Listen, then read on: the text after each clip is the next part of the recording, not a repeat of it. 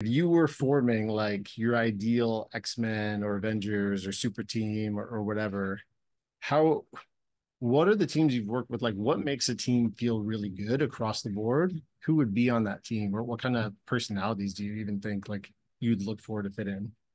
for sure.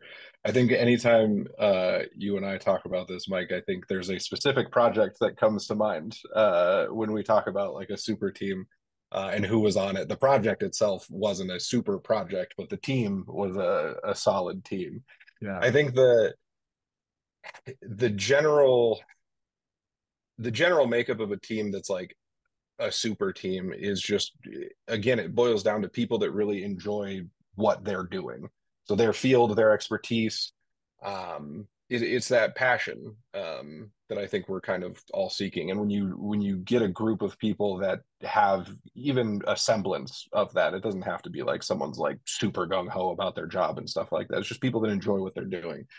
Um, that is the basis of the of of the makeup of a really good team. But I mean, it also boils down to like communication um, and like transparency about stuff. So you know, if if one side of the puzzle is struggling with something, bringing in other people, whether it's a project manager, the product owner, or like an engineer or something like that, and being like, hey, I'm not sure how to think through this right now. Like, let's you know get together and and talk through things. So it's a combination of openness to collaboration so people that are just like willing to work with each other um, a passion for what they're doing and a respect for what like the other positions are doing